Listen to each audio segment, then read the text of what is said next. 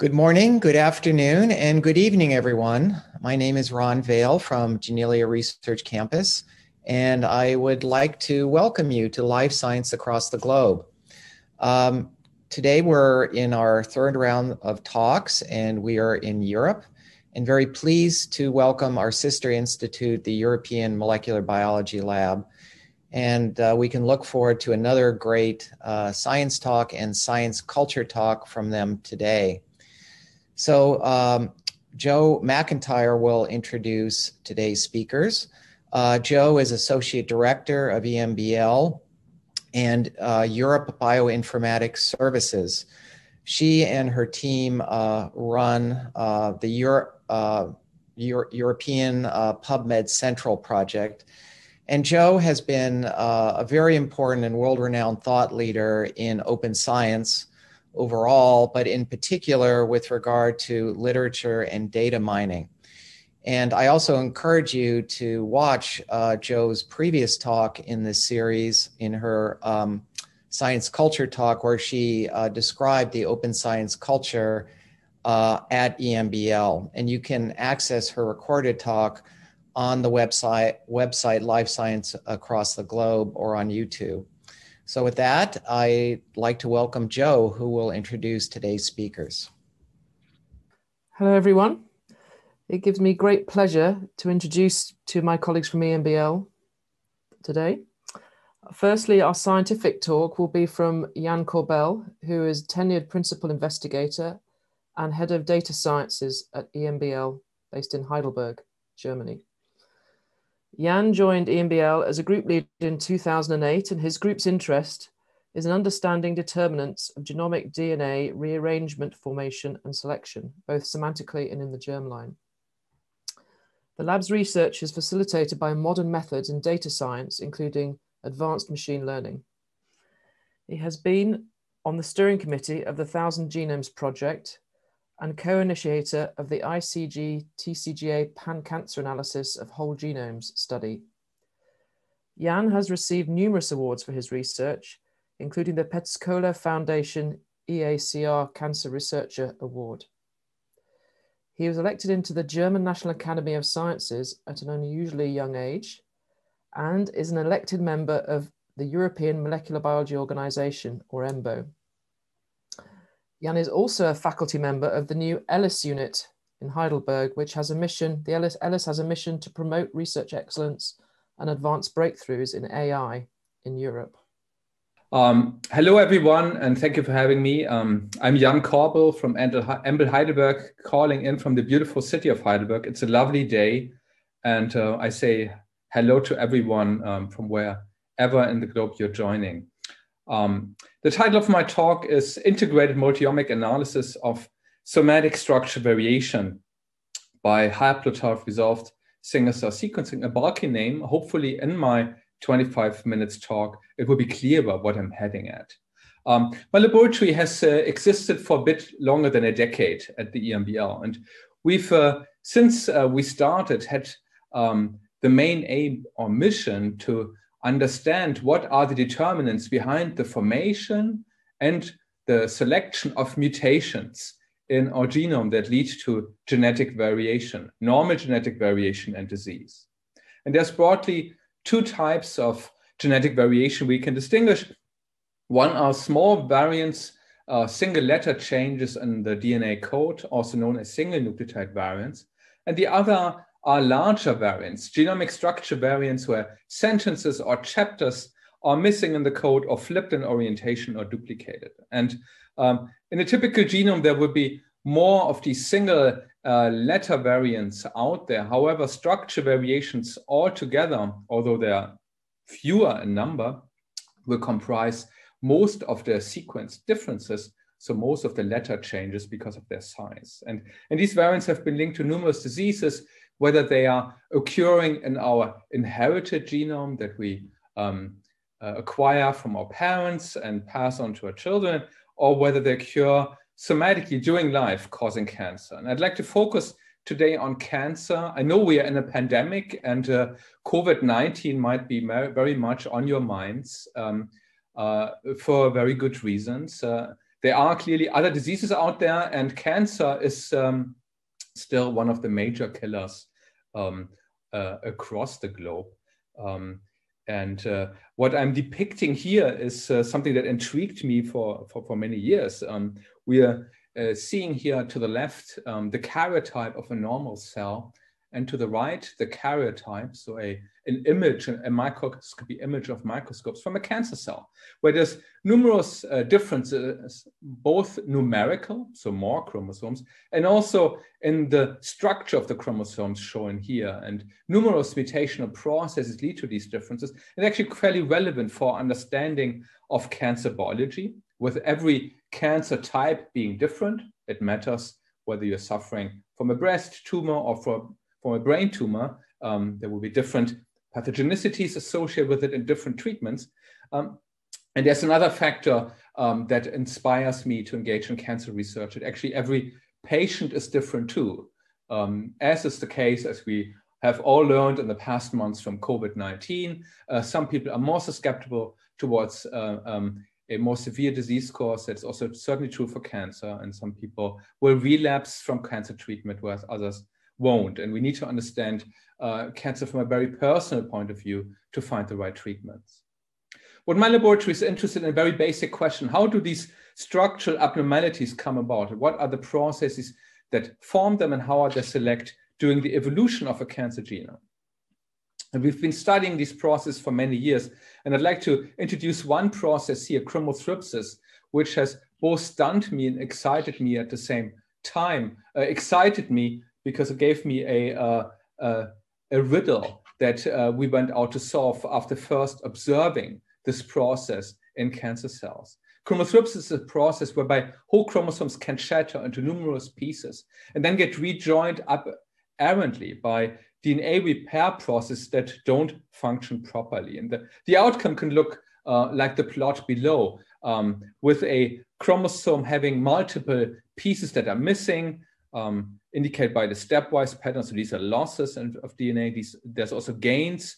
And these connecting lines here indicating that the DNA repair process is acting in the cell have completely scrambled this chromosome with pieces that were previously here, now being there, and, and so on. And we've, we've been studying processes such as chromothripsis by assembling a very large number of cancer genomes in a study that I co-initiated and co-led over the years also known as the Pan Cancer Project. And that fits very well to this global talk because PCAWG was truly a global study with um, many continents contributing samples and also analyses.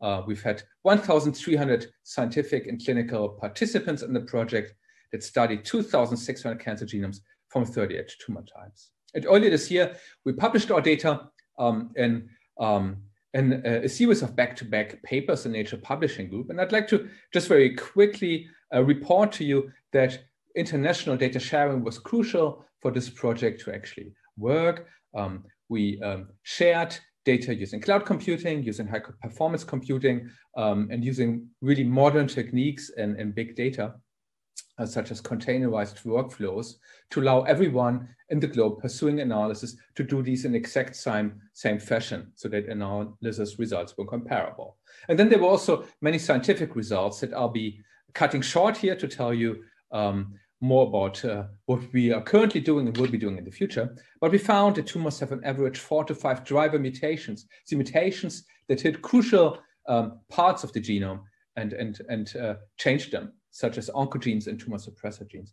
And we found, exciting for our lab, that the majority of mutations in these cancer genomes were structural variations. So point mutations more frequently studied in cancer research actually make up the minority of cancer drivers.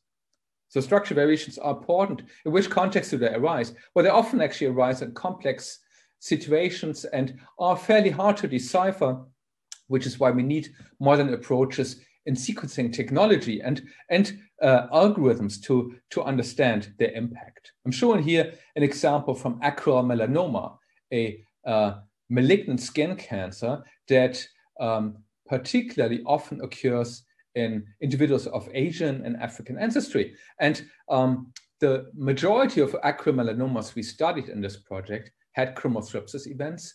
In most instances, these led to the activation of crucial oncogenes, cancer genes such as TERT and CCND1.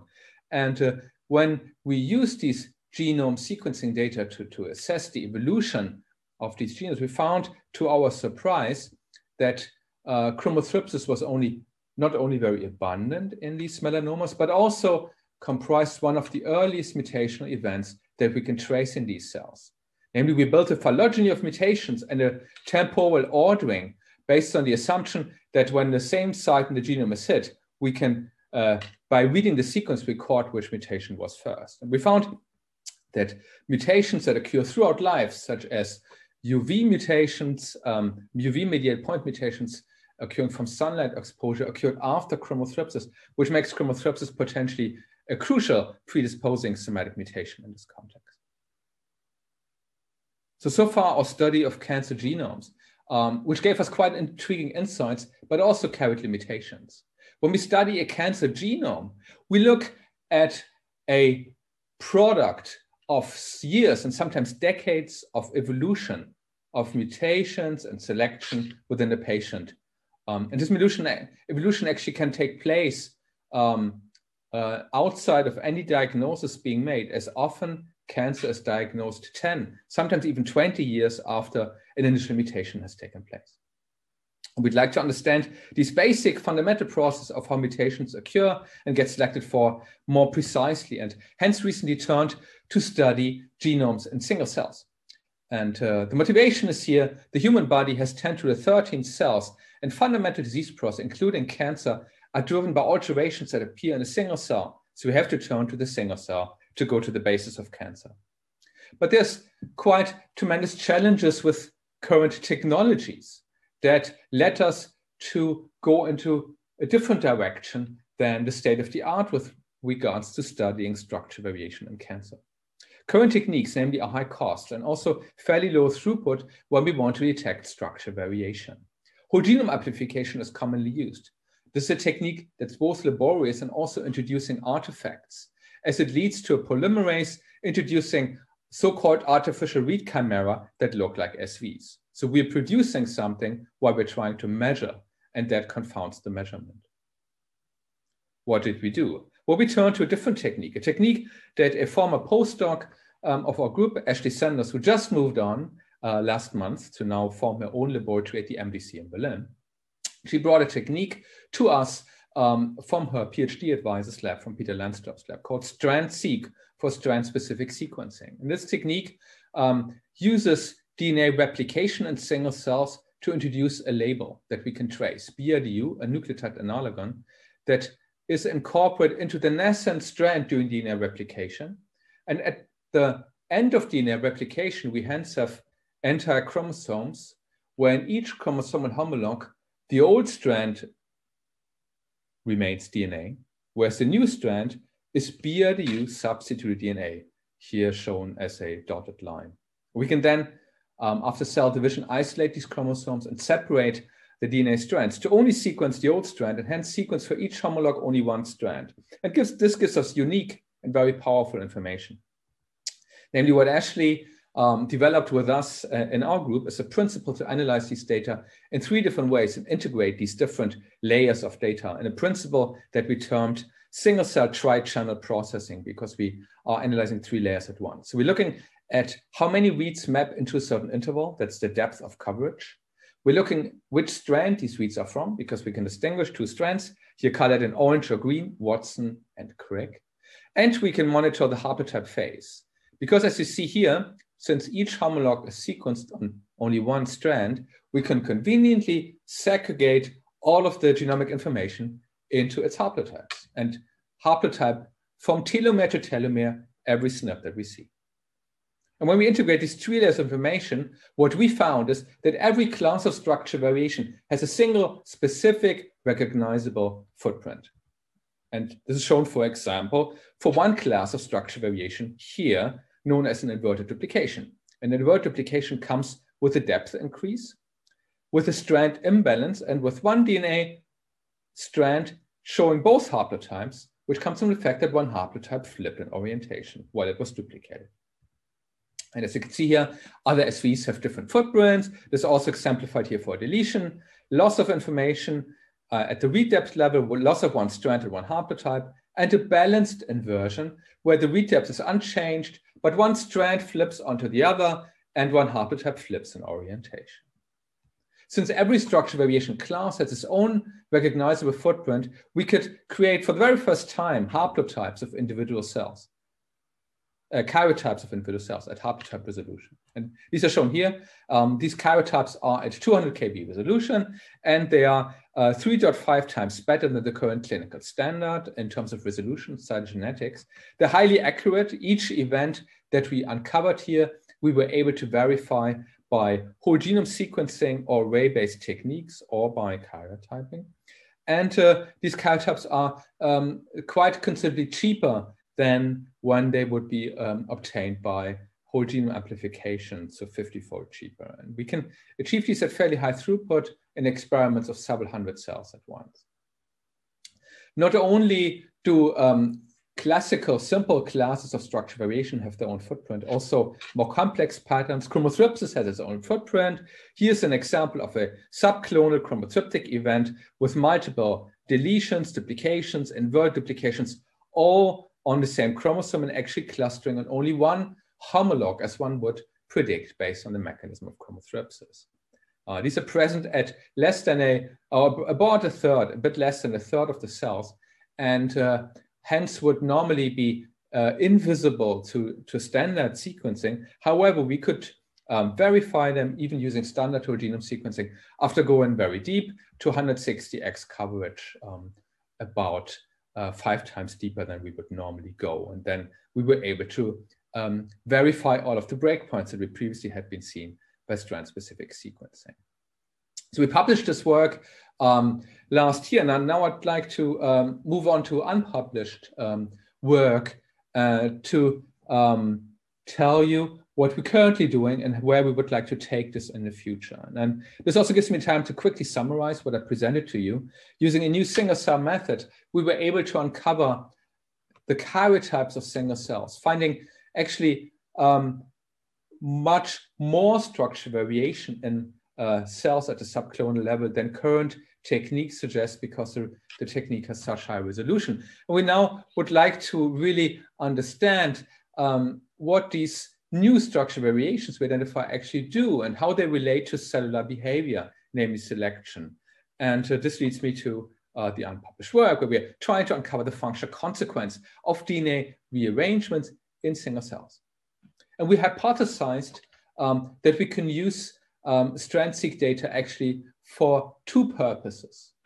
One purpose I already described to you, that is detecting structure variations. Um, the classical strand-seq library uses micrococcal nuclease to generate libraries. And MNase cuts precisely around nucleosomes, which occupy um, more than 80% of the genome. So this gives a fairly uniform profile, good for karyotyping cells. But since um, micrococcal nuclease precisely cuts around the nucleosomes into these naked linkers, um, there's actually more information. We reasoned we can use this fragmentation pattern to reconstruct the pattern of nucleosome occupancy and infer from that cell type, cell state, and epigenome evolution, and perhaps even gene expression, given that nucleosome positioning in the genome is related to whether a gene is actively transcribed or not. So much the theory. Um, to test our hypothesis, we first um, reused data we had already generated and uh, um, reconstructed from it nucleosome, positioning information. You see here a very widely used uh, lymphoblastoid cell line from ENCODE and the Thousand Genomes Project, GM12878. Here was where ENCODE um, inferred the nucleosomes to be. And you see here where strand-seq which is actually a fully haplotype resolved technique as opposed to ENCODE. So we get the information independently per homolog, uh, where strand-seq uh, thinks these nucleosomes are. And you can see that we get precisely more or less the same positions back with the additional added value of having a um, haplotype resolved pattern. I should say here that to create this figure, we pooled single cell nucleosome occupancy reads per haplotype. So these are so-called pseudo bulk um, um, results. Um, strand-seq, of course, has the additional advantage that we get the information back for every cell individually, but then they are sparser. um, encouraged by this, we asked the question, can we now use this information to study the consequence of structural variations in individual cells to go directly from genotype to phenotype and potentially mechanism? And we started out um, using um, in T cell acute lymphoblastic leukemia, a T cell leukemia occurring in children, um, by looking for a known inversion and the consequences thereof on chromosome 14. This inversion depicted here, uh, 2.7 megabase in size, um, flips this section here in orientation, juxtaposing a gene desert or parts of a gene desert known to harbor enhancer elements near um, T-ALL oncogene known as TCL1A.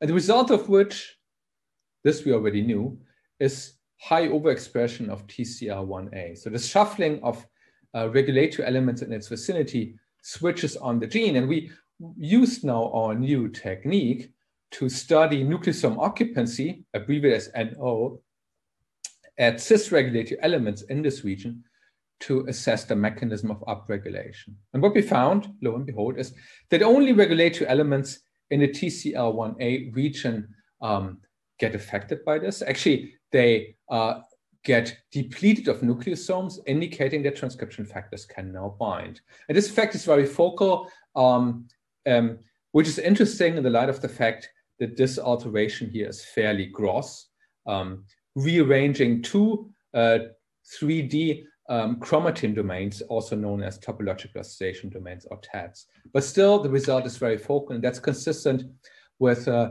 recent results from Drosophila um, that we generate together with Eileen Furlong's lab and also from Angie Futrell's lab in cancer, showing that large-scale alterations that rearrange topological association domains have often very, very focal effects with only few genes being misexpressed. And we show here that this extends to the epigenome using a method that in the same cells measures these alterations and um, haplotype resolves the effects on the epigenome.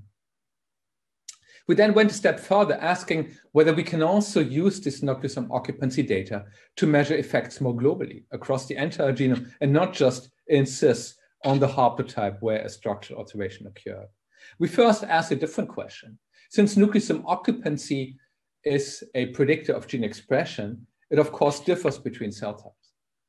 So we asked the question, can we use nucleosome occupancy to distinguish between cell types uh, by mixing um, strand-seq data from different cell types. Here in green are depicted lymphoblastoid cell lines um, derived from the blood, and these are epithelial cell lines um, derived from the retina. And we can see that both based on nucleosome occupancy in genes and also in known enhancers, we can highly um, uh, accurately uh, distinguish these cell types. And distinction is higher when we do a supervised classification than when an unsupervised classification where there's still some uh, misassignments. But once we, even for, for enhancers, once we do the analysis in a supervised manner, uh, we get full accuracy back. And we can, we can do a similar classification with micrococcal and uh, MNase sequencing data generated in single cells by I. We then ask the question, does this effect that nucleosome occupancy appears to have an, an expression which translates to, to cell type differences also enables us to study gene deregulation at individual loci. This indeed would be very powerful because this is what structure variations do and are known to do. They are major determinants for gene expression change in cancer, leading to striking um, um, deregulation of the cancer transcriptome, for instance, by, by activating oncogenes. And Hyobin Jeong and Karen Grimes, who performed the research in my lab, found that indeed nucleosome occupancy carries a strong um, signal for gene expression. They um, used uh, a lymphoblastoid cell line here again and plotted nucleosome occupancy in y-axis direction along the gene body of many genes, where the genes were stratified by expression status. Red means highly expressed, and gray means not expressed. And you can see that nucleosome occupancy is strikingly different between them. And we could hence develop a machine learning approach using a convolutional neural network to predict gene expression. And um, we used DE-seq um, uh, in addition to uh, score differential nucleosome occupancy and predict snapshots of gene deregulation throughout the genome and using um, the principle of um, leaving one chromosome out and predicting that chromosome after having performed training on the other chromosomes, we can show that we are fairly highly predictive with an area under the curve of up to 0.91. This means in practical terms, not for every gene in the genome will we get the expression correctly predicted in single cells, but collectively, we can generate very informative snapshots that we can use to study the biology of the effect of structure variation. And um, I'm uh, showing you very quickly how we uh, try to apply this principle. We went to the large chromothripsis event that I already showed to you, where it was to date uh, uh for us completely unclear um, what the effect of this chromothripsis event has been and why it was selected for clonal growth. And using our approach, we identified 14 genes being strikingly deregulated between the, clone, the clone with the chromothripsis event and the other T-ALL cells in the same patient. And several of these genes actually cluster to the same pathway. And we looked for an upstream regulator and found that there was only one sensible regulator that led to this pathway being aberrant, and that's the MYB oncogene. MYB sits directly in the center of the chromothriptic region which by the way spans 400 genes, so we would not have guessed that MYB is the culprit, but this analysis strongly suggests that it is because genes uh, downstream of MYB are highly deregulated. And um, we went to verify uh, this finding into bulk RNA-seq data and found that indeed MYB is differ, um, differentially allelically expressed in the sample with overexpression occurring on the chromothriptic haplotype and downstream targets of MYB are overexpressed, they're outlierish expressed compared to other T-ALLs, which uh, is consistent with uh, our uh, method that we call uh, SCNOVA for single cell nucleosome occupancy and variation analysis. So this is my last slide. I presented to you novel uh, single cell techniques that allow us now to study the landscapes of structure variation in single cells highly accurately for diverse forms of structure variation, including chromosynthesis events or inversions. And I also showed you a novel single cell multiomic method that used the fragmentation pattern of MNase to identify in the very same cells the functional consequences of structure variations, allowing us now to go from structure variations in single cells to their consequences and mechanisms. And indeed, we can apply this to leukemia and, and, in, uh, and in many other settings, including cell lines and, and also uh, organoids, for example, to study the functional consequences using a technique, strand-specific sequencing, that scales to hundreds or thousands of cells, providing new avenues to study cancer evolution and mechanisms of structural genome mutation. And with this, I'd like to uh, thank you um, for your attention. Um, the, invest- the key investigators are here shown in bold, and I mentioned them throughout the talk. I didn't mention Isa and Sebastian, who, like Ashley, have moved on to become PIs. Um, uh, Isa and Sebastian um, were our workforces in the PCAWG study, and they're now independent, uh, independent PIs at EMBL's Partnering Institute in Finland and Norway. Thank you very much for your attention. And I'd be looking forward to any discussion. Thank you, Jan. Great talk and a very interesting method to study genetic, especially structural variations at a single cell resolution. All right, and now time for questions and discussions. So my first question to you is referring to the part where you adapt this technique to study the epigenetic landscape, you know, the nucleosome occupancy. So my question to you is, how does this technique compare to single nuclei uh, single nuclei ATAC-seq? Yeah, it's um, this is a, a, good question, and it's actually it's actually intriguing. Nucleosome occupancy measurement by MNase-seq give you almost the inverted signal to ATAC-seq. So ATAC-seq focuses on uh, and enriches very strongly on uh, regions of chromatin accessibility. So ATAC-seq will give you focal reads at regions that are um, depleted, completely depleted of, of nucleosomes and hence accessible. Um, MNase-seq actually gives you signals for regions that are covered by nucleosomes, but cuts into the naked linkers between chromosomes very precisely. So in principle, um, the technique MNase-seq is very suitable for, for what we're trying to do because it gives us a very uniform picture of um, across the genome and in, enabling us to study structure variations with this, while at the same time also letting us infer where regions of accessibility occur. I hope that's clear. Yeah. So ATAC-seq, again, ATAC-seq is really powerful because it enriches for um, accessible chromatin, but it doesn't give the same uniformity as MNase-seq. So for all purposes, MNase-seq is actually better. Agreed. It's uniform and all right. Uh, and now question for, from the audience. Uh, our first question is from Sandhya Bhatia. Would you like to ask your question, Sandhya? Uh, you have the permission to talk. Please unmute yourself and ask your question. Uh, Sandhya, are you here? All right, I'll ask you a question. Uh, Sandhya would like to know how much heterogeneity is there in the karyotype of healthy individuals? Yeah, that's a this is a great question and a mystery um, as as we don't really um, know this. Uh, but uh, I like what Sandy asked, and actually for us, one of the main reasons for developing the te technique that I just presented to you was to apply it eventually uh, to study exactly that. Um, um we're currently applying it to cancer. That's for us the low-hanging fruit, and we're um, making the technique as we're doing so more powerful. But then want to apply it in a normal karyotypic setting, as I think that's one of the big outstanding questions. We've, we've learned over the past few years that, um, that there's lots of somatic heterogeneity in, in each and every one of us. We keep acquiring mutations, but techniques that have uh, looked for such heterogeneity were heavily biased towards um, point mutations. And with this technique, I think we can address this in the future. Mm -hmm. At least for tissues with dividing cells, I should say, because our technique requires dividing cells. Great. But many tissues do divide. Uh, thank you. Uh, our next question is from Murali. Murali, would you like to ask your question? Please unmute yourself. Uh, all right, I'll go ahead and ask the question.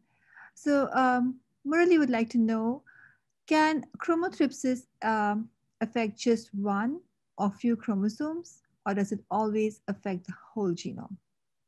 Yeah, so it's actually a good question. Uh, this is a good question, and there might have been a confusion from from how I presented this or a misunderstanding. So typically, it affects a single or few chromosomes, not the whole genome. Um, if the whole genome would be affected, it would be hard to uh, uh, conceive how a viable cell should result from this. I mean, even even with a single chromosome affected, it's hard to conceive. But but I think the way this works is that chromothripsis affects typically one haplotype.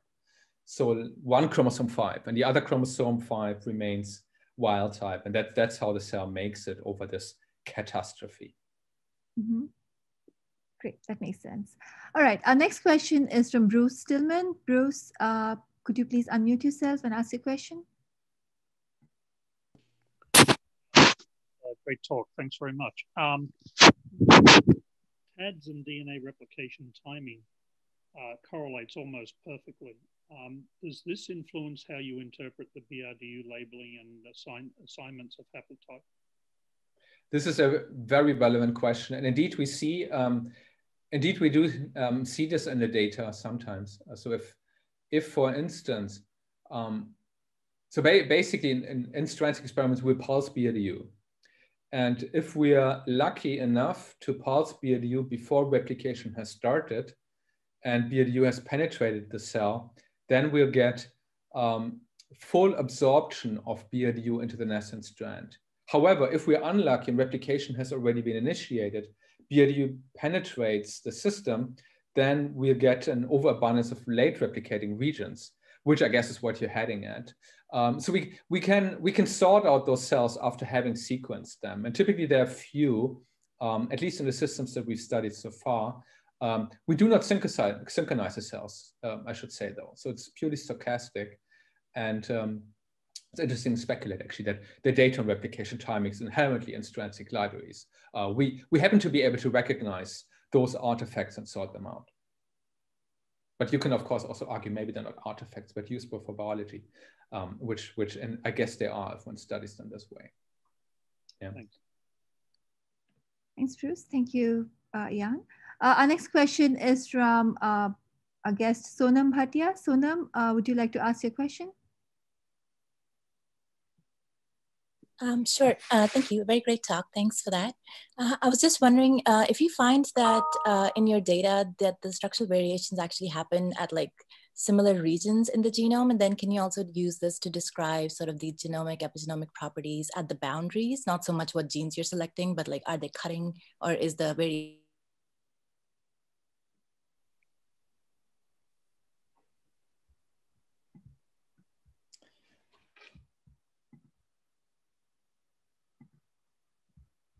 So something was breaking off. I hope I was not breaking off. Can uh, I be heard?